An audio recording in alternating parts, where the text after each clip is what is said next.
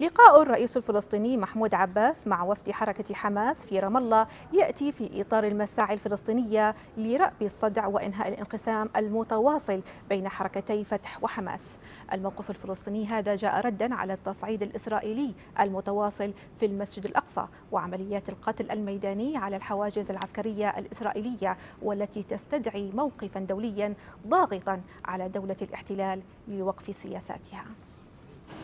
الرئيس الفلسطيني محمود عباس وفي إطار مساعي تحقيق المصالحة الشاملة وإنهاء حالة الانقسام في الأراضي الفلسطينية التقى وفدا من حركة حماس في مقر الرئاسة برام الله حيث تناول الرئيس والوفد الحمساوي المشاورات واستعراض الأوضاع الميدانية التي تقود إلى مصالحة حقيقية.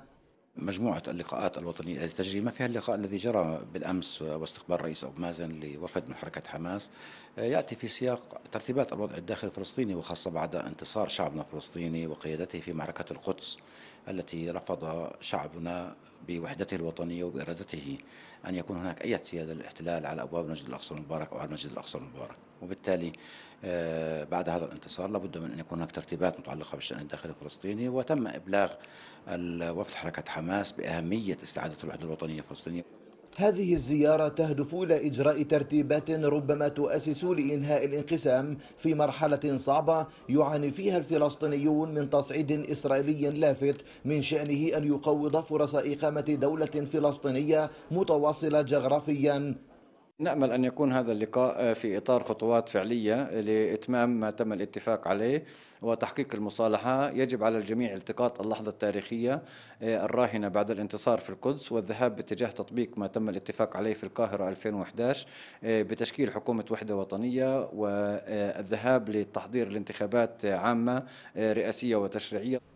الإجراءات الإسرائيلية وفرض الأمر الواقع ومحاولة السيطرة على القدس بين فينة وأخرى ربما هي المحرك للفلسطينيين في هذه المرحلة.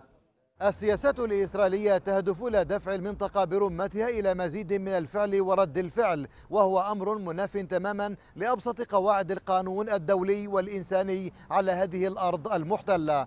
حسن أبو الرب الإخبارية رام الله.